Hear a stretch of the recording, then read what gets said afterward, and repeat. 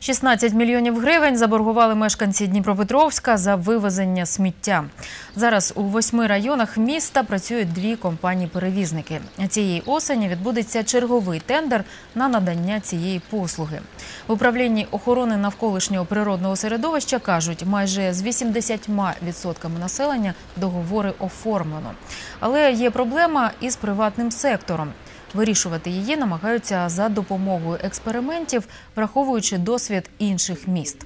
Зараз такий триває в Ленінському районі. Диевка-1, Диевка-2 установлена компанией Днепрокоммунтранс э, в качестве эксперимента порядка 200 контейнеров, проработав 4-5 месяцев, вывозя э, регулярно эти отходы с этих контейнеров, которые установлены, подчеркну, бесплатно, э, население частного сектора, видя, что услуга таки оказывается и таки работает, да, перевозчик в их районе, ну, наверное, процентов 60 стали оплачивать.